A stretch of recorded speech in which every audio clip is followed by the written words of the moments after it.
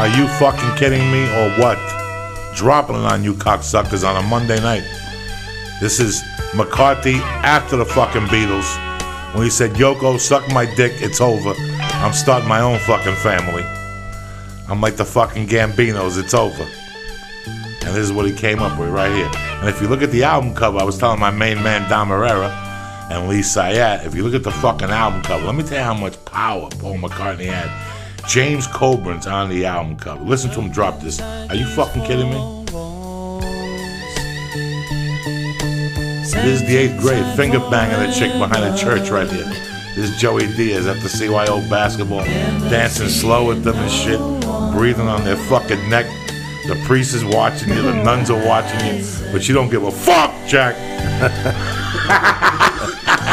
My dick is harder than dick, and I'm getting something tonight a hand job.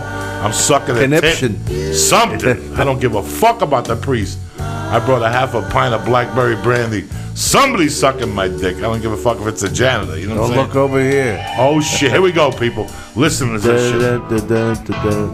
I'm teaching you motherfuckers something.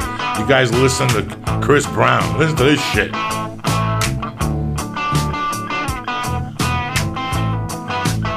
Are you break out the fucking reef reefer, the bazookas, get a Taliban, stab him in the fucking neck. We're going deep tonight. I don't give a fuck. Oh shit. Go Lee. Wiggle for Uncle Joey, a little something. It's Monday night, cocksucker. Oh shit. If I ever get out So you're sitting there thinking, what's gonna happen next? Oh shit!